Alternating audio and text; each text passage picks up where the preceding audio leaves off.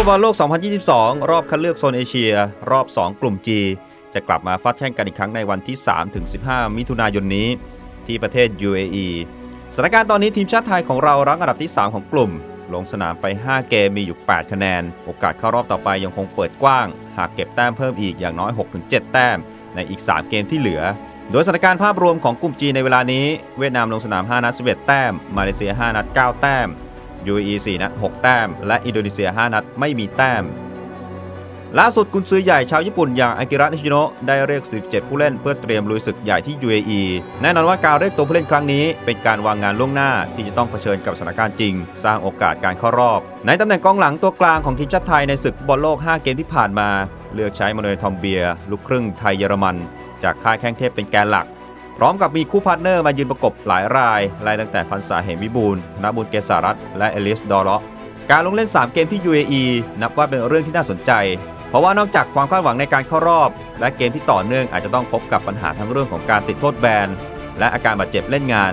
ซึ่งในตำแหน่งนี้ที่ติดเหลือง1ใบค้างอยู่ นั่นก็คือในรายของธนบุญเกษารัตในลิสต์รายชื่อ 17 คน ผู้เล่นตำแหน่งกองหลังตัวกลางมี 5 รายด้วยกัน 3 ใน 5 รายเป็นผู้เล่นที่นิชิโนใช้มาตลอดใน 5 เกมก่อนหน้านี้ ทั้งพันษาเหมวิบูลธนบูรณ์เกษารัตน์และมานูเอลทอมเบียร์ ส่วนอีก 2 รายหน้าใหม่ ปวีร์ตัณฑะเตมีย์และสุพรรณทองสงค์ มีโอกาสแค่ไหนนับว่าเป็นเรื่องที่น่าติดตาม ก่อนหั่นให้เหลือล็อตสุดท้ายเพื่อบินไปชุบตัวที่ UAE สุพรรณทองสงค์แข้งกองหลังมากประสบการณ์วัย 26 ปี ของสุพรรณบุรี FC ติดทีมชาติไทยมาตั้งแต่เยาวชนจนก้าวขึ้นมาเล่นในนามทีมชาติไทยชุดใหญ่ ในศึกเอเชียนคัพ 2019 และ Kings Cup ครั้งที่ผ่านมา สุพรรณทองสงค์ก้าวขึ้นมาสร้างผลงานได้อย่างโดดเด่นก่อนที่มีอาการบาดเจ็บเล่นงานจากเกม Kings Cup จนทำให้หายไปจากสารระบบทีมชาติในฐานะตัวจริง แม้ว่าในแมชในนามทีมชาติไทยชุดใหญ่จะมีไม่มาก แต่ว่าในเวทีเอเชียนคัพ 2019 ก็แสดงให้เห็นว่ามีคุณภาพดีพอในการยึดตัวจริงในสนามแข่งขันหากได้รับโอกาสจุดเด่นคือลูกกาอากาศอ่านเกมได้ดี แต่จุดที่จะต้องปรับปรุง คือเรื่องการเคลื่อนที่ให้ทันต่อเกมที่รวดเร็ว สำหรับฤดูกาลที่ผ่านมาสุพรรณพาช้างศึกยุทธหัตถีรอดตกชั้น ในฐานะกัปตันทีม ลงเล่นไปทั้งหมด 19 เกมด้วยกัน ช่วงที่หายไปก็คือช่วงของการรักษาอาการบาดเจ็บ นี่คือโอกาสครั้งสำคัญที่จะแย่งชิงพื้นที่คืน หลังห่างหายไปจากตัวจริงทีมชาติอย่างยาวนาน ทั้งอาการบาดเจ็บ และการแพร่ระบาดของไวรัสโควิด -19 ปวีตันทัตเตมีแข้งวัย 23 ปี เจ้าของส่วนสูง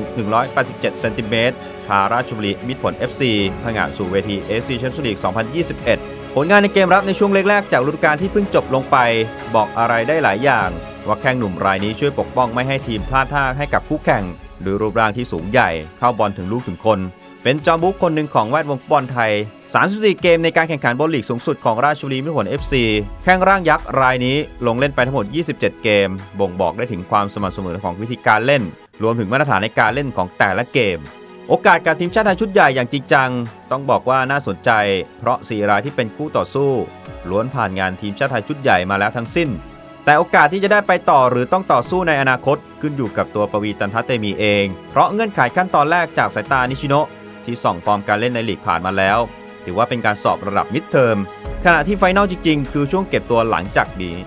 น่าสนใจเป็นอย่างมากสำหรับผู้เล่นตำแหน่งเซนเตอร์แบ็กหรือปราการหลังตัวกลาง แน่นอนว่าใน